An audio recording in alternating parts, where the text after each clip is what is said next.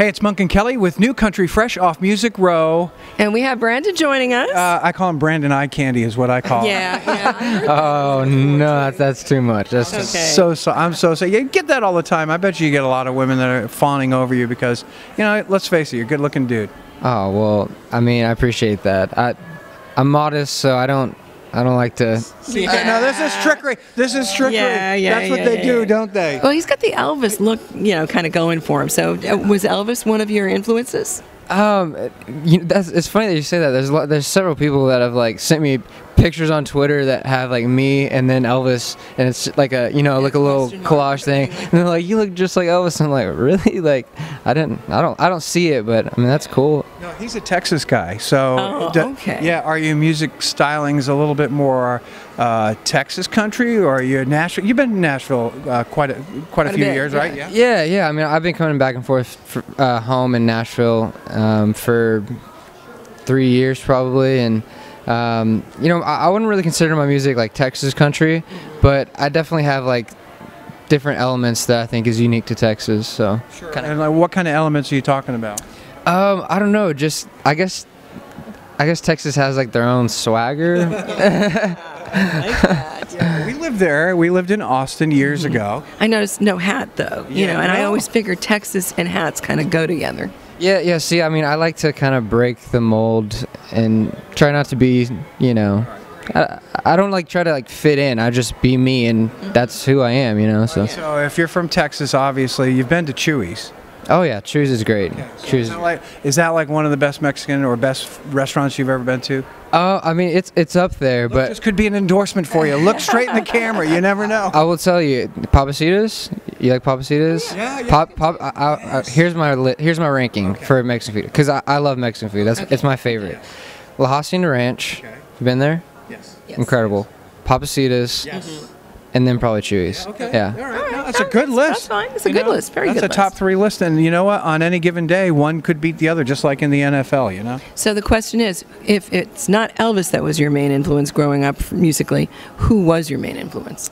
Um, you know, in my very early early days when I just got into music, worship was was my biggest influence. Um, but a- as soon as you know I started really songwriting in in more of a um, um, secular market, yeah, uh, when I started going to Berklee, that's when it kind of opened up and started looking towards new influences, and, and I just fell in love with Keith Urban's music. I, I love, you know, his his songwriting, his singing, his musicianship is it's all incredible. So you play guitar. I do. I play. I play guitar, play piano, and kind of dabble. I try to play other things. I'm not. I'm not. I wouldn't call myself great at any of them, but you know, I'm privileged to know at least a little bit on on most everything. What is it? What is it about Keith's style that you absolutely love? Ah, uh, he just has this thing. I mean, I love his melodies. You know, they just soar, and, and the way he uses his vocals, and then just the the way he he fills in his guitar solos and stuff. It's just it all. It's so smooth, and it sounds like so clear to me. And Do you just like his uh, his his backside, like my wife does when he gets up on stage. She, she's like, yeah, there's "Oh, look wrong at with that, backside. I'm kidding. You His know. flip side looks very good. Yes. Yeah, yeah. I mean, I, I wouldn't say that I look look at Keith Urban's backside. That's a bad question. I'm really sorry. I forgive you. We'll, we'll just move on. Yeah. So so when you, when you're on the road and you're kicking back, you know, after after a gig, what do you do? What do you do to unwind? um, ah, that's a great question. Um, I love watching movies and TV shows, so that usually just kind of I I love to like, get into other characters and you know watch other people's lives play out and feel like I'm a part of them. Obviously, you're not a part of their lives watching a TV show, but you We've feel been married for 25 years. We do that all the time. Yeah, yeah. yeah. so so so reality TV is your thing? Uh, no, not not really reality TV. Um, more so scripted shows, but And comedies or dramedies? uh, action. Action. I love action and, and comedy, of course. Yeah. Lo- What is the single's name? My first single, um, and it's very fitting. it's very appropriate. It's titled "One." Very cool. Okay. And you have a story behind that? Um, actually, I, this isn't a song that I wrote. It's a song that we, we found from publishers.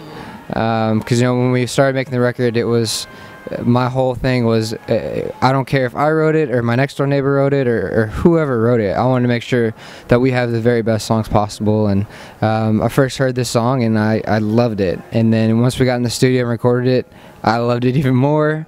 And we were like, you know, this this has to be the first one. So what's the story behind it? I mean, what's the what's the story of the song? Yeah, so the the whole premise of the song is like this guy just saying, "Give me, give me one chance, give me one shot, and and, and you're, you're gonna fall for me, or at least I hope. That that's the hope, of course. But just just let me have that opportunity to try to woo you, to try to win you over. So have you ever aimed that song at anybody in particular? Well, it's new, it's fresh, it's it's fresh. So uh, I haven't had an opportunity to yet, but sure I will. But I, I, it's it's a song that I of course can relate to and and pass, and I- I'm sure most people that hear it can as well, boy, guy and female, male and female alike. So yeah. It's Brandon Chase. It's New Country, fresh off Music Row.